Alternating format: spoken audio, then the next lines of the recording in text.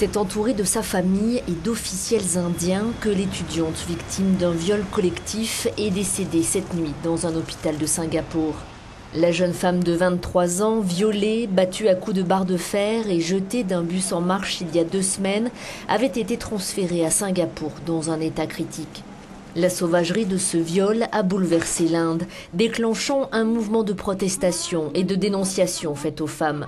À l'annonce de sa mort, de nouveaux rassemblements ce matin à New Delhi. Des manifestants qui réclament justice pour la jeune femme, mais aussi des moyens pour assurer la sécurité des femmes dans une ville rebaptisée capitale du viol. Un viol est signalé toutes les 18 heures. Je veux assurer à sa famille que nous sommes tous avec elle, explique cette jeune femme. Ils n'ont pas à se sentir isolé.